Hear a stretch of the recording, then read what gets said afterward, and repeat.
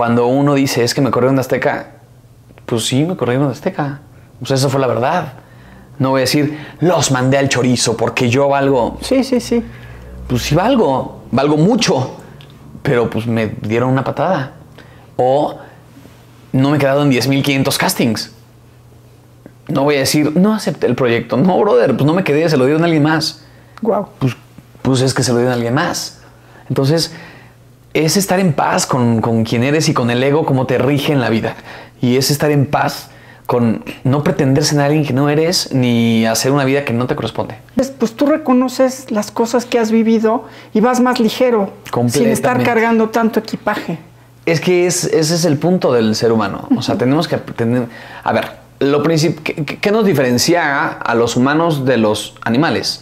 El raciocinio, el poder entender las cosas de una forma diferente. Pues hagámoslo, no nos quedemos como simios.